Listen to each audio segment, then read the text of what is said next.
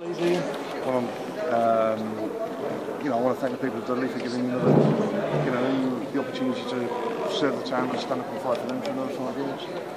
Um, it's a massive honour, it's a great privilege, and I'm very grateful to them. I mean, you must feel it's vindication of your own campaign to get uh, such a high majority this time, well up from the 2010. I don't want to, I don't want to sort of claim credit personally. You know, lots of people have helped. We've had a very good, very strong, you know, we've worked very hard on this and um, it looks like the hard work has paid off. So, you know, I'm very grateful to them. Obviously, uh, it's looking nationally that it's going to be a tough night for Labour, but do you believe your own uh, uh, poll today is an indication that the party still has a resonance with Dudley voters?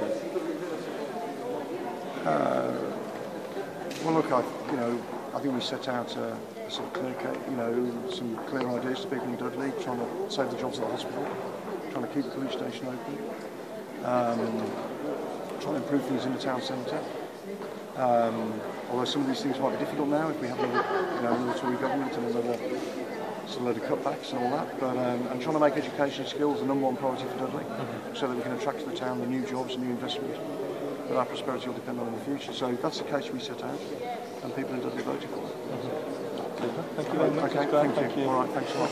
Okay.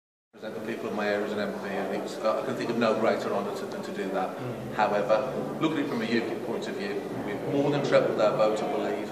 Uh, we've played a really strong part in this. We've brought a great positive campaign. We've done well in every single ward in this constituency. There's not been an area where we've been left for dead. And I think it, it bodes well for the future. We've got a lot of positives to take from this. We'll regroup, we'll learn from what's happened, we'll push on, and next time we'll come back stronger.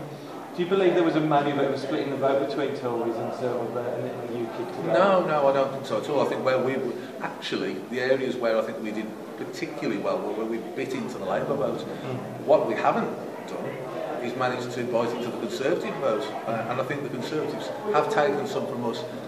A lot of people got frightened by their negative campaigning about the SNP. Mm uh, and it did suck some of our support away from us. I think that's a shame uh, because I believe in positive campaigning, and putting forward a vision for the future rather than just trying to terrify people about some bogeyman.